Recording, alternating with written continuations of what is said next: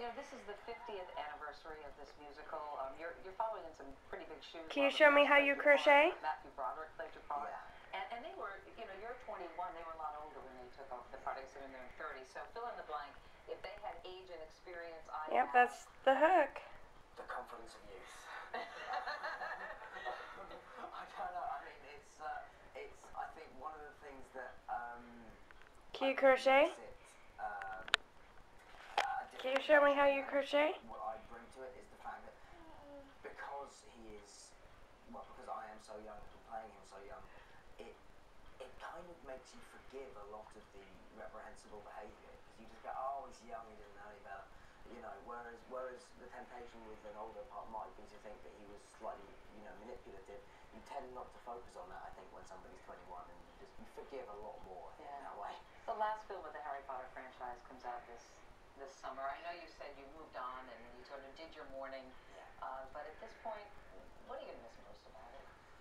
Um, you know, working with, you know, uh, working with the crew. Sit down. Those films every day, I've been incredibly grateful Are you that mad at your blanket? to see some Okay, sit down. sit my best friends every single day was, uh, was very, Sit down. I will certainly miss that a huge amount. Well, we're awfully glad that you are sticking around. That is for sure.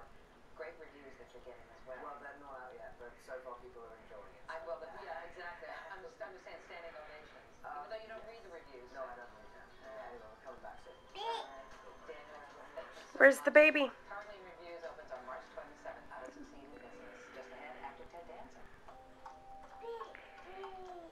an easier way Here. Where's the baby? Is there a baby here? Is that instant. The new Today for iPad app, available now at the App Store. Thursday, 30 Rock's back. Is that baby? What's different about this episode? It's the 30 Rock reality show. Let me talk. I am talking. Will you let me talk? Can I talk for once? And with loads of drama and Susan Sarandon, you better watch your step. Is that the baby?